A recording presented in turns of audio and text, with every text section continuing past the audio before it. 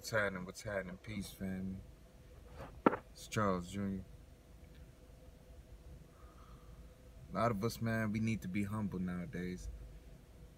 Just a lot more humble than we are now. Um, I think a lot of us have to come to a realization that everyone grew up differently. Everyone grew up with a different perspective. Everyone grew up seeing things differently, different experiences, you know, different traumas, you know, different delights. Learn differently, different areas. It makes you see things different. So I think a lot of times we need to be humble when people come with their opinion or their ways.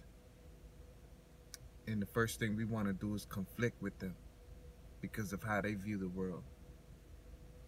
You can't it's not incumbent upon you to to to necessarily set them right.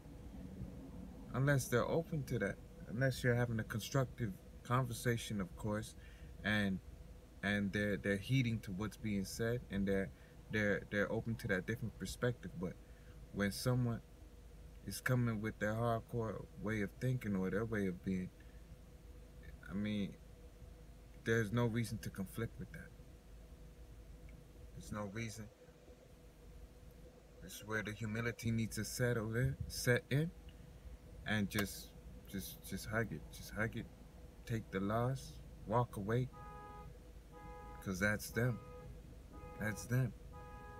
If you're willing to learn, if you're willing to accept, if you're willing to be open to conversation on how you view something, then by all means, let's have that conversation.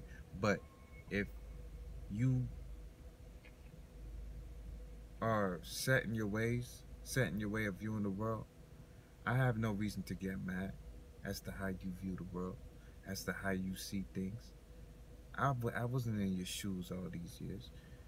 God gave us each a different a different perspective, a different outlook on life to to be able to come with our own view of things. And then we could talk to each other.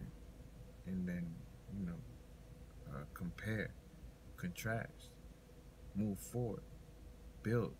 Because different different sets of eyes can help see you different ways. It's good. It's good. We need that. So humble yourself. Instead of conflicting. Try to find what you do connect them and move forward with that. Peace